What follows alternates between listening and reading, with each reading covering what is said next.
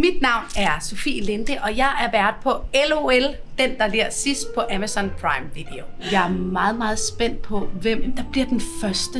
Det ved jeg også øh, fra de meget få snakke, jeg har haft indtil videre, at det frygter de alle sammen.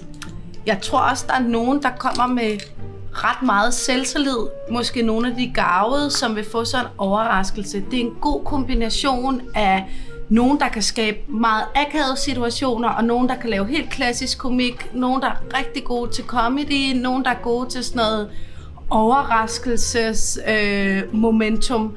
Så, så øh, jeg tror ikke, der er nogen, der kan føle sig mere sikre end andre. Sådan en som Martin Brygman, han skal jo ikke rigtig andet end bare rykke med hovedet eller lægge sin mund på en bestemt måde, så griner man. Altså han har så meget komik i sin krop.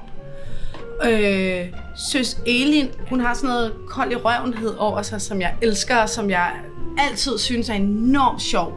Så er der også en som Eva Jin, som jo ikke har voldsomt, eller ikke lige så mange år i branchen, men hver gang, altså hun har noget helt særligt over sig, for du ved ikke, hvor du har hende. Du ved ikke, hvad hun kan finde på. Hun er sådan uforudsigeligt blad. Altså, og Jesper Ole og Sofie Jo, der jo på mange måder hænger sammen kreativt, men som jeg også tror er hinandens kryptonit. De har flere heste at spille på, end for eksempel komikerne har. Så er der jo så også sådan en som Natasha Brock, hvor det gik op for mig. Jeg tror ikke, jeg, jeg har ikke set hende ikke smile.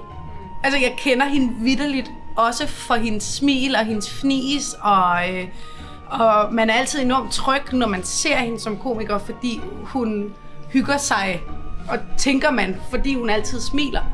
Og det kunne jeg godt være spændt på at se, hvor meget af det, altså hvor, hvor svært det bliver for hende at lægge den måske mimik på automatik til side. Jeg har 10 skærme, der er 36 kameraer, så jeg kommer til at se alt, jeg kommer til at høre alt. Og så skal jeg jo være den hårde dommer, og jeg kommer faktisk til at være ret hård. Fordi det her, det er en konkurrence, og jeg har et retfærdighedsgen, der er på størrelse med Skåne.